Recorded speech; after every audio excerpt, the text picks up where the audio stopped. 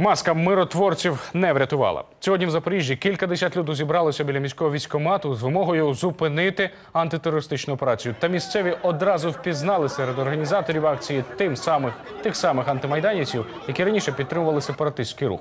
До будівлі військового комісаріату відразу підтягнулися самооборонівці та прості містяни, щоб перешкодити мітингувальникам.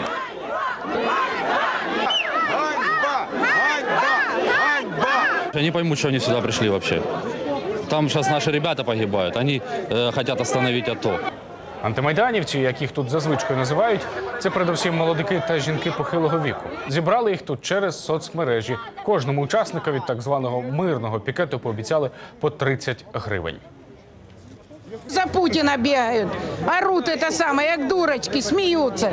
Чему тут смеяться? Дети гибнут, мужья, сыновья, они это самое, с- вышли тут Урешті пікетників від військкомату відтіснили. Між самобородівцями і мітингувальниками розпочалася штовханина, яка загрожувала перерости в бійку.